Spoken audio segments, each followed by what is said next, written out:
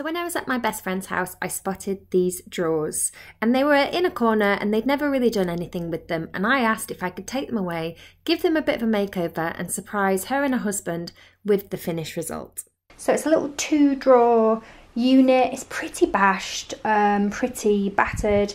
It lives at their front door and they just use it for storage and things, um, but it fits perfectly in this, this sort of doorway near their front door. So uh, it's basically got um, tapered legs, a little cross beam. Then it's got this kind of um, fake uh, veneer along the bottom. Two drawers with these um, little handles, which I'm going to replace. And a wooden top, which is quite scratched and battered. And inside, just kind of chipboardy drawers. So one of the first things I'm going to do is give the whole thing clean because uh, it's a little bit um, dusty in places. Do want to try and keep areas wood, but they are quite damaged. I'm going to sand the whole thing. I'm going to sand the whole thing back. I'm going to take all that varnish off, sand it right, right down to its, um, yeah, to get all this sort of horrid orangey varnish off and see what um, the unit is like underneath. Um, uh, it's just, it's not necessarily like proper real solid wood um, in places, but I'm hoping that this should come up. Okay, so that's going to be my first job. And I think then once I've sanded it, I'm going to know whether I'm going to be able to air, leave areas of it. Wood, if the wood's nice, or if it's going to have to be solidly painted the whole thing. But one thing I definitely know is that I'm going to change the handles. And I have actually bought some new handles already. So even though these are quite cute, these little handles, they are quite tarnished. Um, so I have bought some simple gold handles off Amazon. These simple gold, um, brushed gold knobs. So I've got four of them. Um, I'll link those in the description box because they were a bargain. I think they're about £12, no £10 I think for four. But one of the important things is that obviously those handles go in through one hole and these handles actually have two holes. So one of the other things I'm going to do when I sand the whole unit is take the handles off, sand the drawers, drill the new holes um because I don't think I'm going to reuse that hole there. Or maybe I will. Maybe I will use these two inner holes on each drawer and so I'll just filler this outer hole because then at least I know that they're actually all lined up. So that'll mean the handles are just that little bit further in um, but the only thing is then they won't be centre to the legs, which I think would look neater. So no, I am going to filler and drill completely new holes. Um, so yes, yeah, so I'm going to need to do a really good filler job and really sand those back and make them beautiful and flush. So when I paint the drawers, you're not going to see um, the holes. So that's going to be the first job. Give it a clean, give it a sand, drill the new drawer holes. So I just gave it a very light clean down with some um, soapy water and let it dry and then I went in with my sander. So uh, on certain areas like the top and the sides I'm using my Bosch orbital sander with a really really fine grade of sandpaper because this is literally just a veneer, wood veneer. You want to be careful not to take too much off or go too deep because otherwise you're just going to come through to chipboard. So very fine sandpaper, did sort of one pass across the top and the sides. And then I also have a smaller detail sander which I'm going to use on the edges and the slightly harder to reach areas.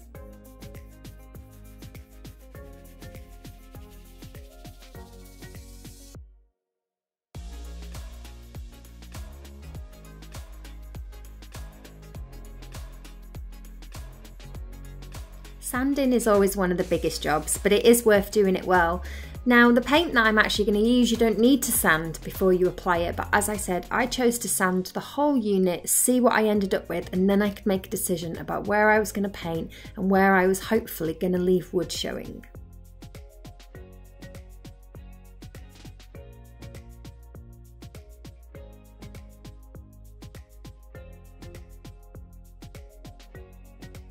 Certain hard to reach areas I also did with a sanding pad by hand, one that's flexible so you can get right into those corners, as well as using the little detail tool on my detail sander.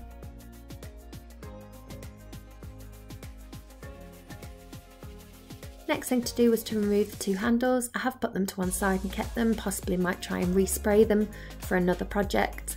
So I'm going to remove those and then I'm going to drill my new holes for my handles and fillet the existing holes.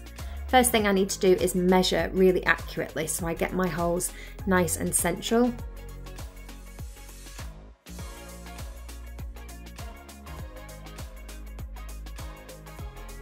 And then I'm just using some all-purpose wood filler and I'm putting plenty in there on the outside and the inside and then I'm obviously going to sand that right back and make sure it's nice and smooth and level.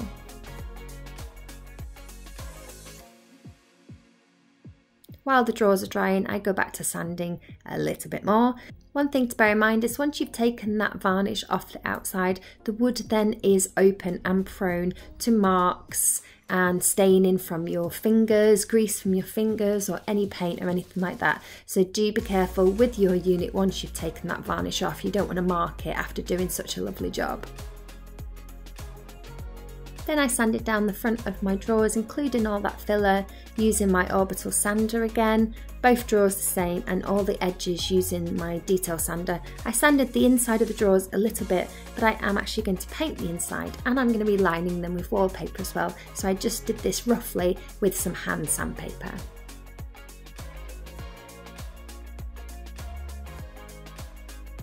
Next thing I did was clean all that sanding dust off because you don't want all of that to get stuck in your paint. Just do this with a dry cloth. You can also hoover out the drawers and the unit and thing just to get rid of every last bit of sanding dust.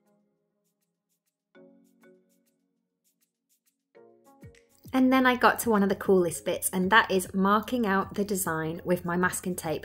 I decided to create a triangle design on the front I'm going to paint outside of the triangle and the inside of the triangle is going to remain wood.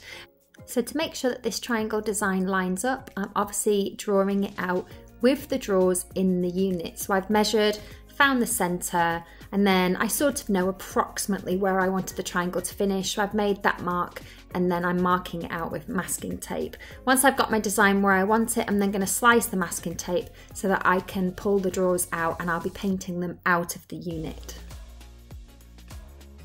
I also know that I'm going to leave the top wood coloured, so I'm actually going to mask off the whole way around the top so I don't get any paint on it when I'm painting the sides.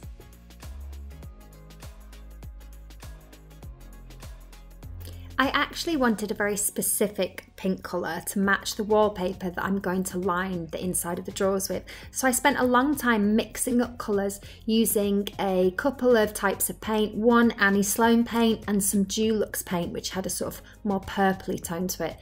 So you can mix up your own colour, test it on a bit of wood, let it fully dry to make sure it's the shade that you want and also make sure that you mix up enough to paint your entire thing. The last thing you want to do is to run out of paint halfway through and then you can't mix up exactly the same colour. Better to have too much than not enough. My mixture was a mix of Annie Sloan paint, which is a chalk paint which can be painted directly onto furniture, and some Dulux paint, which is also a chalk based emulsion. So it meant I didn't need to prime the unit, I could literally paint this colour straight on, and it was the perfect kind of darkish, slightly purpley toned pink. So I'm giving the inside of the unit a paint, even though you're not really going to see in there. I want it to be a really, really good job. I want it to be really neat and really professional. So the whole inside is getting a coat of paint. The one area I'm not going to paint is the top of the drawer runners. I do find that if you paint drawer runners and the sides of your drawers, it can make them really hard to run in and out smoothly. So I'm leaving the top of the drawer runner plain wood in order to ease the drawer continuing to be smooth. Some I painted with a brush, especially if it was tight little corners, and some I painted with a foam roller.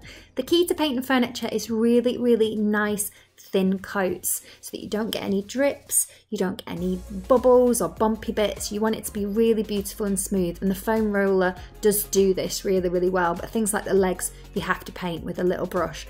I also am actually going to sand in between every coat because I really do want this paint finish to be so smooth and so beautiful and it's just worth spending that extra bit of time on it in order to make it perfect. Total number of coats is probably going to be two. I think it's got really good coverage, this paint. On the sides, I may do a third just to make sure they're absolutely perfect. And on the back, I did just do one coat of paint, but it was a slightly darker colour of paint.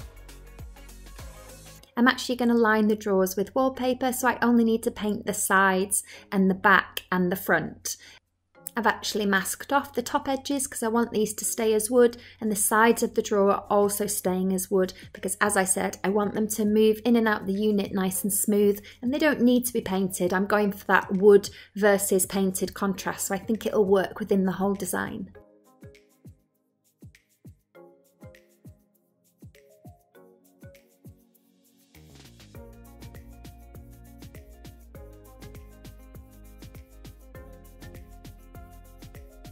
I'm giving the legs a little sand down with a little flexible sanding pad before I give them a second coat. I'm actually going to do a gold dipped leg effect on the legs, um, which I think is going to add a little bit of a zhuzh to the whole unit. So the legs don't necessarily have to be perfect uh, down at the bottom because it's going to get covered up with gold, but I want them to be nice and smooth, so I gave them a sand in between coats. Oh, then came the fun bit, putting the paint on the sides. It's always my favourite bit to put the paint on the uh, biggest, flattest surface. Did this with a foam roller. You do get the tiniest, weeniest bubbles sometimes with a foam roller, but you can very lightly blow on it and it will dissipate some of the bubbles. But as I said, I am actually sanding in between coats uh, in order to make sure that the paint finish is super, super smooth. There also was a couple of corners that were a bit damaged on this unit, so I did actually filler them with some filler and sand it down so that they were nice and smooth. And obviously once I've painted, that's going to hide that completely and you won't see it at all. Then the other fun job was of course painting the front of the drawers. I was really careful with my foam roller not to go onto the design. Obviously I want to keep where I've masked uh, completely paint free because that's going to be the lovely wood section. So you do want your roller to overlap the masking tape and you also want to make sure that there's plenty paint along that masking tape so that when you peel it off you've got a solid solid line but thin coats are much much better than slapping it all on in one go so I think I did three very light coats uh, with a roller with a sand in between each coat. The next thing I did was mark out where my gold dip legs are going to be. So I want maybe a third of the leg um, to be gold dip. So I'm going to make the marks on every leg and mask off the line that I'm going to paint up to and make sure it's the same height and level on all four of the legs. Then I'm going to turn the unit upside down and I'm going to paint uh, two coats of gold up to that line. Again, making sure there's lots of paint up to the line so that the line is nice and crisp and blunt when I peel off that tape. I'm just using a gold Rust-Oleum furniture paint. It has a gorgeous metallic finish and it only needs two coats.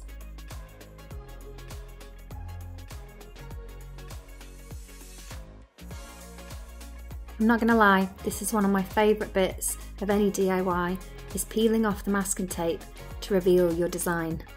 Uh, don't fret if you've had any kind of paint bleeding when you mask out designs like this. I do find that this green frog tape is the best stuff for masking out uh, for any kind of sharp designs. However, you do occasionally get bleeding and all I ever do is use a knife or some scissors really, really gently to scrape off any excess paint and sharpen up your line again. And that works absolutely fine as long as you're careful.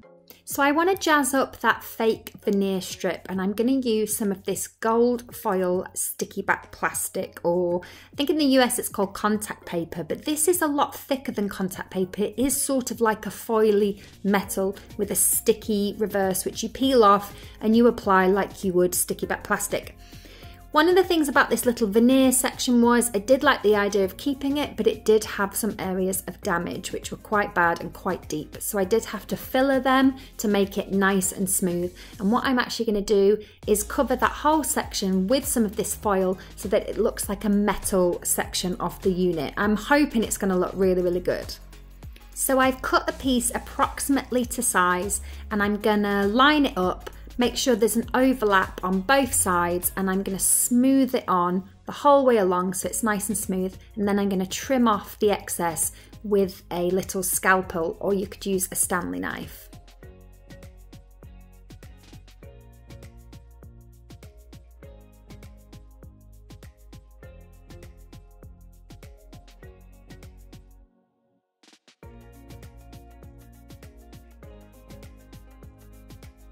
I did also use a little bit of heat and my towel just to really, really smooth it out and make sure it was perfect. Okay, now this might seem like madness that I've stripped off all of the orange colour and I'm now going to dye it again. However, what I'm going to do is I'm going to, with a wood dye, dye it back teak, but this will be a nicer, rich brown teak, not so orangey, and I'm not going to be varnishing the unit or any sections of the wood, I'm going to be waxing it, and it'll have a lovelier, softer finish than the unit had originally. So you just apply this wood dye with a cloth, rub it in along the grain and it just brings out all the colour, all the grain of the wood. And I'm also going to do the same to the unpainted section of the drawers. But in order to protect the painted section, I'm actually now going to reverse the masking effect and put my masking tape along the paint line. So then that means that I can rub my wood dye on there and I'm not got to be worried about getting any on the paint effect tip here is don't press this masking tape on too hard because you don't want it to pull up all of the paint that you've already done. Press it along the line of the wood just to make sure there's no bleed through. But apart from that, you're not actually going to have it on there very long. As soon as you've applied your wood dye, gently peel off the masking tape, then you can touch in any sort of sections with your finger nice and neatly, and then you can leave it to dry. I also added some wood dye to the side of the drawers just to make them look nice and rich and newer and I also added some wood dye to the top edges of the drawers that I masked off and didn't paint. Once everything was completely dry, I moved it inside in order to wax it. I'm using the Colron clear wax, which is the same one I used on my dining table and I obviously still had some left. I really like it, it's really nice and easy to use. I'm going to apply it with a soft cloth and just buff it into all the areas, including all the painted areas. It just helps seal the paint in as well. And then I'm going to put two coats of wax on with a little buff in between each coat.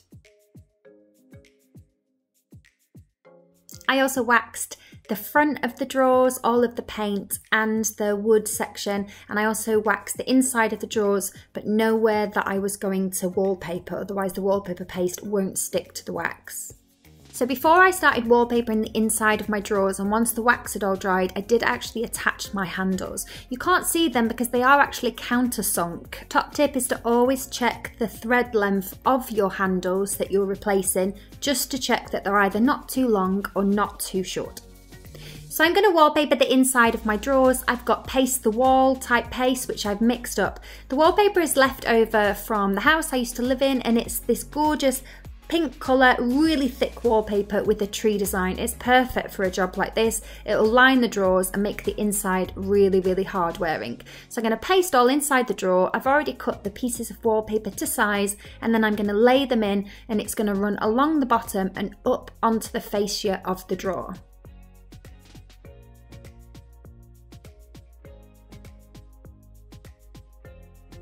I decided to paper my handles in, which will prevent you getting access to the thread and the bolts. However, this unit isn't in daily use by my friends, so I'm not worried that the handles are going to constantly need tightening or become loose. If you were doing a unit that you use every day, there is a chance you might want to tighten up the handles. I would still allow yourself access to the drawer bolts, so cut yourself a little hole in the wallpaper. And then I cut the little bit of excess wallpaper off with my knife so it's nice and neat. And I'm going to repeat on the second drawer. And here it is, all finished. I think it came together beautifully. I love the design on the front. I'm really glad that I left sections of it wood. The gold dip legs tie in really, really well with the metal strip that I applied and the little handles that I got from Amazon, also a perfect gold colour. The top came up amazing considering how scratched it was and it now has a lovely soft sheen finish from the wax. So here's a little tour around the whole unit before I take it to my friend's house and surprise her with it.